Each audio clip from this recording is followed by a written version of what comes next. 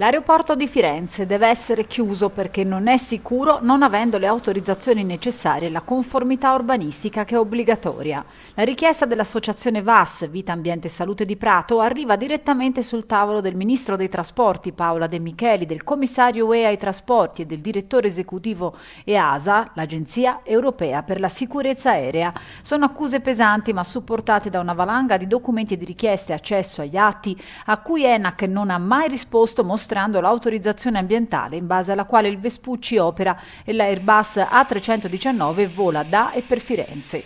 ENAC non ha risposto ai comitati, ma non ha risposto nemmeno al direttore generale della divisione sul trasporto aereo del Ministero dei Trasporti, Renato Poletti, che dopo le richieste formulate anche dal prefetto di Firenze per ben due volte sollecita a provvedere senza alcun ulteriore indugio a relazionare compiutamente in merito, stante la gravità di quanto segnalato. Questo a novembre e dieci giorni fa, ad oggi, nessuna risposta è pervenuta. Ma se le autorizzazioni ci sono, come sostiene ENAC, non è più semplice e trasparente mostrarle anziché trincerarsi dietro uno strano silenzio che getta una pesante ombra sul Vespucci? Facciamo un esempio immobiliare per far meglio capire alla gente quello che sembra sia successo, afferma l'associazione VAS. Potremmo dire che forse l'attuale aeroporto è come un edificio che ha avuto la licenza a costruire ma non ha l'abitabilità, quindi i proprietari non lo possono vendere e utilizzare.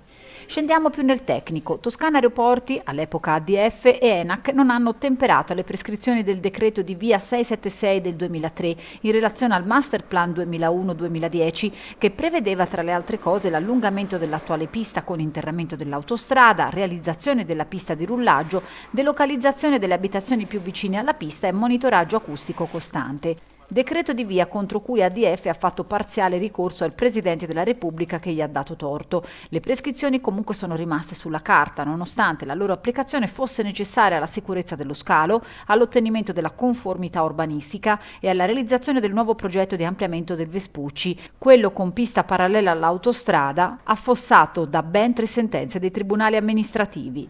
ENAC ha ribadito più volte che non c'è stata ottemperanza perché quel master plan e quella procedura di via sono superati superati dal nuovo progetto, ma oltre al fatto che tale progetto è stato fatto a pezzi dai tribunali, non ha mai specificato e mostrato su che base autorizzative opera l'attuale impianto.